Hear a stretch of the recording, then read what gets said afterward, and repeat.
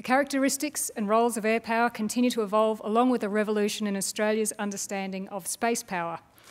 In order to understand what this means for Australia's defence, Air Force has reviewed and revised our understanding of air power. Air Force has also taken on the lead for a new responsibility within Australian Defence, that of space power, and examined what the role means both within a military context and from a national power perspective. The result is new guidance on air and space power. It's my great pleasure to invite Air Marshal Hupfeld, the Chief of Air Force, to launch the seventh edition of the Australian Air Power Manual and the first ever Australian Space Power Manual. Thank you, sir. Good afternoon, all. Um, as I alluded to in uh, my opening address, today I am very proud to announce the publication of our seventh edition of the Air Power Manual and our very first edition of our Space Power Manual.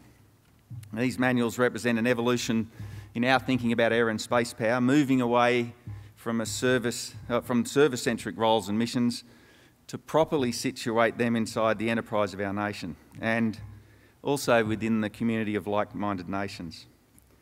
Reflecting on the Australian experience of air and space power, I don't think there's ever been a time uh, in our history where the unified purpose of the Australian Defence Force under one defence has been so strong.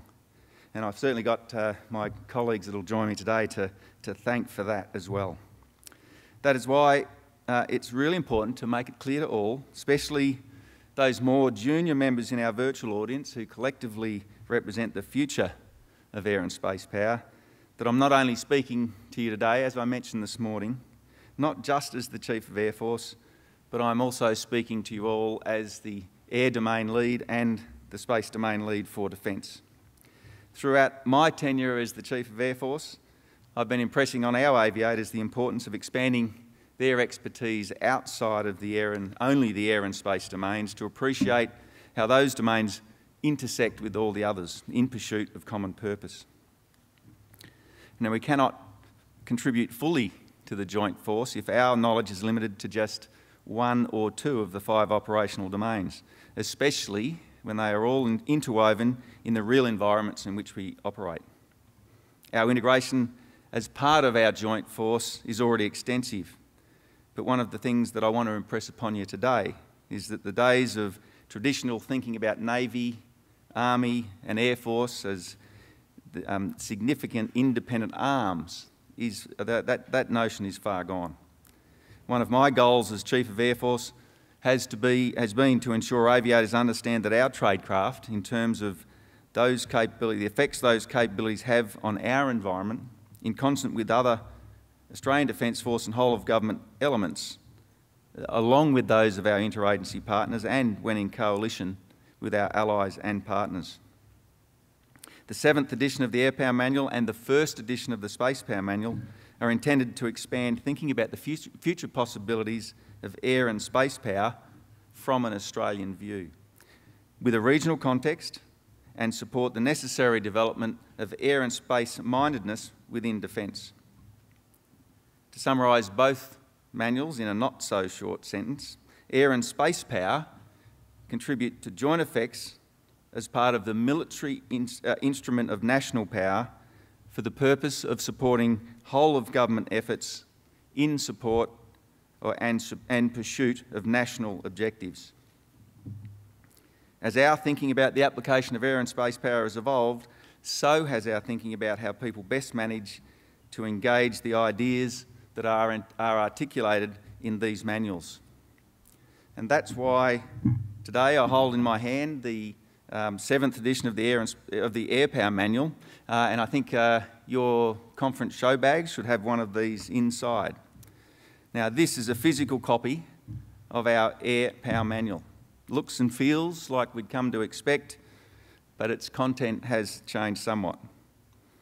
But these are just limited to a limited print of the manual, and we will uh, certainly have uh, some of those physically available here today.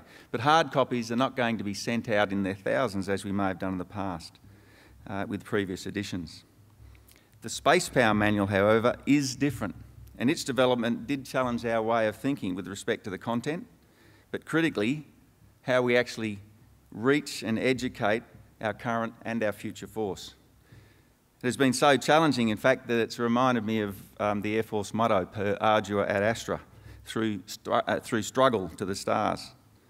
Without challenges, however, there would be no reward. And I'm excited to say that we have produced an electronic manual, the e-Space Power Manual, uh, with links to YouTube videos and online references. And that's aimed at the digital natives who serve now in our Australian Defence Force. These manuals can be amended as quickly as we evolve our thinking with changes to the strategic environment. For space power, this will be rapid as we accelerate our knowledge of the domain and we operationalise our space capabilities.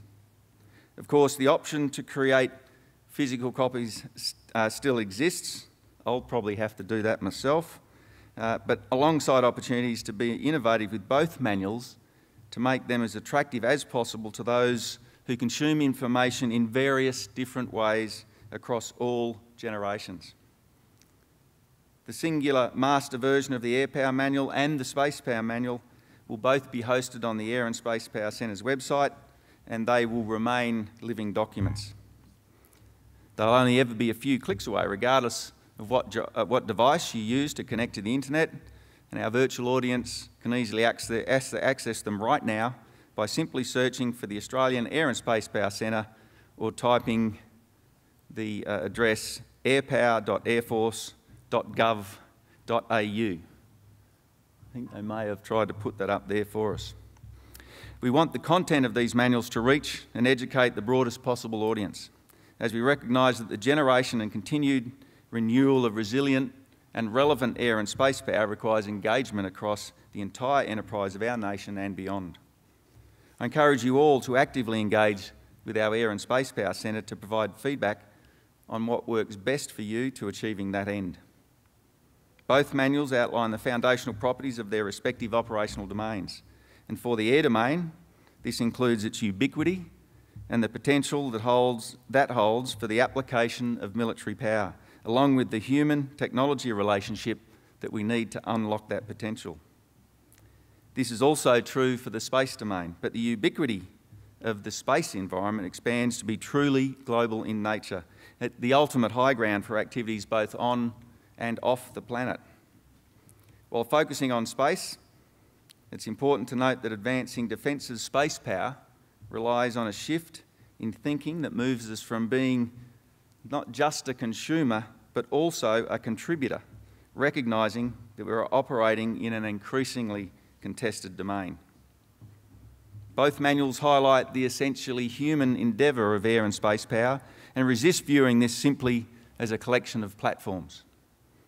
We are aiming to create professional masters who are expert in air and space power practice and are skilled and adept in the collective outcome.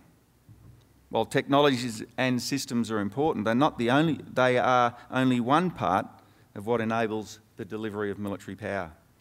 Without people intelligently wielding them, cutting edge technologies serve no real purpose.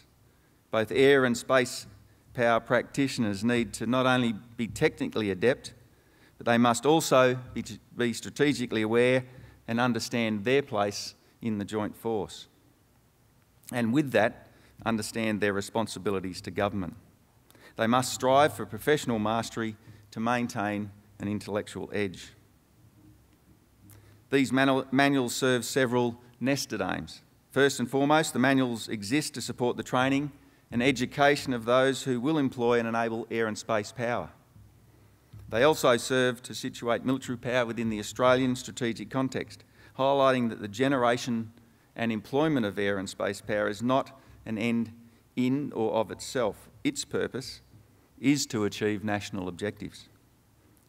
To achieve this, the manuals present the theory of air and space power, albeit at a high level, and notes the military power contributions model to explain the practical aspects of its employment. The contributions framework is designed to expand thinking on the possible application and utility of both air and space power. It aims to ensure that they, as a part of military power, are continually enhanced to best support national objectives. The contributions framework seeks to avoid arbitrary divisions and implied hierarchies. Rather, it's designed to promote the integration of air and space power capabilities with all other aspects of military and national power. The Australian government, like all governments, uses national power to pursue national objectives. We define national power as the total capability of a country to achieve its national objectives, devoid of external constraints and without being subject to coercion. National power is generated through a complex set of interdependencies among departments, agencies and organisations. National power can be described as having those well-known four principal instruments, diplomatic, information, military and economic. In the context of defence, air power is focused mainly on contributions to the military instrument. However, it can also provide support to the other three. For an example, humanitarian aid and disaster relief, uh, those sort of operations will use defence to support a nation affected by disaster while also helping shape Australia's diplomatic and economic interests. Space power can be different, still focusing on contributions to the military instrument of national power, but with a much broader focus from the start across all instruments of national power. Space is critical to our way of life. Banking, navigation, weather, communication, and even our national broadband system. In that context, space is closely linked to our civil agencies, and there are many continuous national missions, not just our military missions. Australia's military strategy, as a component of national strategy, describes the manner in which military power should be, should be developed and applied to achieve those national objectives. For the ADF, the Australian Government has outlined our military strategy through the three strategic defence objectives, and I mentioned those this morning. They are uh, shape, deter, and respond. Deploy military power to shape Australia's strategic environment, deter actions against our interests, and, when required, respond with credible military force. Pursuing these objectives requires more than simply providing a military response after the occurrence of an event that negatively impacts our national interests. These three overlapping and concurrent objectives require the military instrument of national power to be postured to continuously contribute to shaping, deterring, and responding through a range of military activities. This also demands military activities be aligned and coordinated with the whole of government efforts. The concept of pursuing national objectives by creating outcomes through the employment of national power, including military power, this is not new. And war has long been considered the continuation of politics via other means. The instruments of, na have, uh, of national power have always been used in efforts to change an adversary's beliefs and behaviour. And of course, we refer to those as effects. These effects concentrate on outcomes and how they may be achieved, the ends, rather than the mechanisms and the tools that enact them, the means or the ways and means. The military effects that support the pursuit of national objectives can be delivered from tasks in support of civil authorities through to the application of lethal force. They also come from any mix of capabilities from across all of the, all of the domains of the operating environment. While Defence has divided up the operational uh, environment into domains, it is important to keep in mind that military operations themselves are conducted within a singular, unified environment. As has been talked about already today, uh, we call that the real world. Our world is indivisible, it's complex, and it's dynamic. It follows then that every operational environment is, is comprised of all of the domains interwoven and is inter interdependent with the information environment. While boundaries are drawn to allow the practicalities of resource apportionment, prioritisation and accountability, it must be recognised that these boundaries are self-defined and are therefore both malleable and porous. The ADF embraces a multi-domain approach to harmonise the contributions from each of the domains into the joint force, emphasising the importance of thinking laterally about the full range of capabilities available. Wherever possible, the ideal is to incorporate agencies, departments, and domains into a single cohesive network. What is crucial to the utility of the multi-domain approach in defence is that they are practitioners with expertise in each domain, involved in designing and developing the military capabilities, along with planning and conducting military operations. These manuals, therefore, aim to ensure air and space power practitioners have the foundation on which to develop and grow to be effective within this construct. The fundamental nature, characteristics and operational considerations within both the air and space domains cannot be adequately covered by me at the moment in this presentation, but they are certainly covered in these manuals. I encourage you all to engage with them, to get involved in the constructive debates that will help us to continually improve them. These manuals are designed to give the readers the mindset that they, that they need to be creative and to encourage their curiosity, to best enable air-minded and space-minded practitioners to conceive and build the joint force contributions that we need to meet future challenges. The Air and Space Power Manual's highest aspiration is to expand thinking about the future possibilities of air and space power. Innovation comes from learning and from critical and creative thinking, from experimentation and from practice. These manuals are written to give the reader the widest possible aperture to figure out the what next. And this is the most important message within both manuals. The future of air and space power is you. This message is especially important for our large virtual audience, many of of, of whom uh, have long and influential careers in air and space power left in front of them. And I certainly expect a large number of our aviators at all levels to be tuned in. Uh, we all have an important role to play. Air and space power is realised through the ability of humans to use technology to unlock the latent advantages of these operational environments for any given purpose. It is this air and space mindedness which underpins the ability to integrate effectively with those less familiar with our profession, to act as leaders in these domains with good awareness and relationships where possible with others active within them. Alongside mastery in all other operational domains, professional mastery of air and space power are essential to crafting optimal joint force contributions that best support whole of government efforts to achieve our national objectives. It is in this spirit of collective efforts for unified purpose that I welcome my fellow domain leads to address the conference uh, and then to join me to discuss whatever issues you wish to raise. And I think I am going to start with the Chief of our Senior Service, the Royal Australian Navy, um, Vice Admiral Mike Noonan. Over to you, Gretchen.